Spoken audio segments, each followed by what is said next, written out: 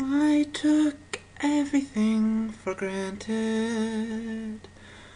All that I could wish for has come true, yet I never made the wish.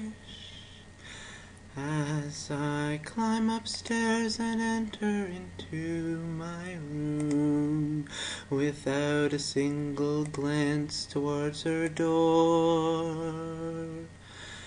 Don't know if she is suffering. I don't know if she's in pain.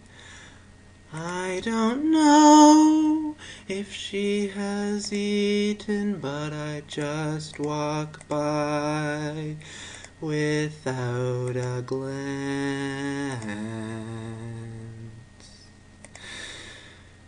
Now the cancer has spread, she's confined into her bed.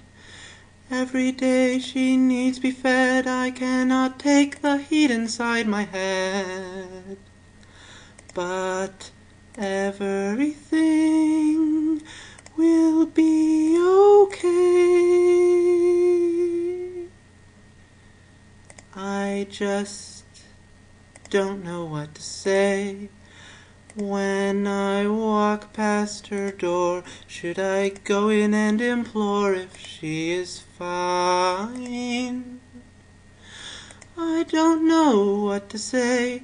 I don't know the time of day when a nurse calls and tells me that she has passed out.